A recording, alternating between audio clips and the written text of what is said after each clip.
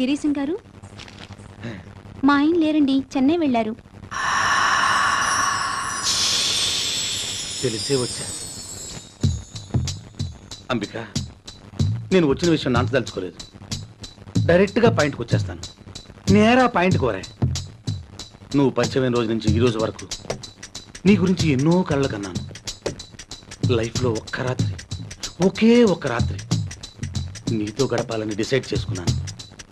నీకెంత డబ్బు కావాలన్నా ఇస్తాను. తరే నా తరే గిరీశం గారు ఏం మాట్లాడుతున్నారు? మీకేమైనా పిచ్చి పట్టిందా? ఓ ఫ్రెండ్ భార్యతో ఇలా మాట్లాడడానికి మీకు సిగ్గుగా లేదు?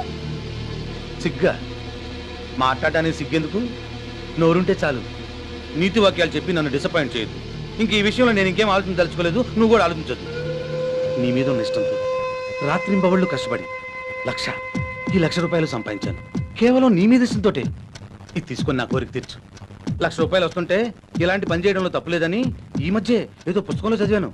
తీసుకో. నా కోరిక తీర్చు. ప్లీజ్. ప్లీజ్.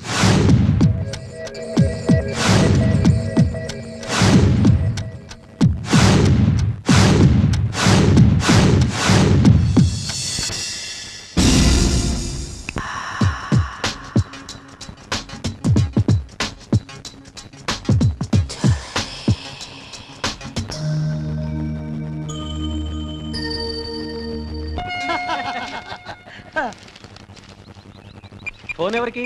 మా ఆవిడకిదా తంబి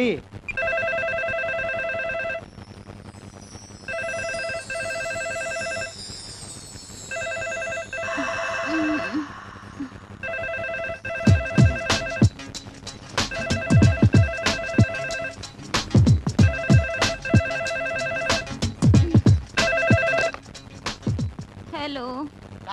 మగుని మీరా? ఎక్కడి నుంచి మాట్లాడుతున్నారు? చెన్నై నుండే. సౌఖ్యమా? ఆ ఎప్పుడు వస్తున్నారు నేనా? నేను దా రావడానికి నాలుగైదు దినములు పట్టు. మన గిరిజన్ దగ్గర నీకు లక్ష రూపాయలు ఇవ్వమని దుడ్డు ఇచ్చినా. ఇచ్చినాడా? ఎదవా ఇప్పుడే ఫోన్ చేయాలా? రెండు రోజులు అవి చేయొచ్చుగా అమ్మ చింతపండు పేసు వాడు. ఏ నిన్నే అంబికా డార్లింగ్ గిరిజన్ నీకు లక్ష రూపాయల డబ్బు ఇచ్చినాడా? ఆ, రాత్రి ఇచ్చాడు. జాగ్రత్తగా దాచు. మళ్ళీ ఫోన్ చేస్తాను. బాయ్. భాగ్య తండ్రి నిన్న గిరిజంతో దుడ్డు పంపుతుంటే వద్దు. వారి వాళ్ళకం చూస్తుంటే నాకేదో అనుమానంగా ఉందని చెప్తీవి కదా. ఇప్పుడు చూడు ఎంత సిన్సియర్గా తీసుకెళ్ళిచ్చాడో. గిరీశము రొంబ నమ్మకస్తులప్ప. ఎనకు నల్ల ఫ్రెండ్ దా.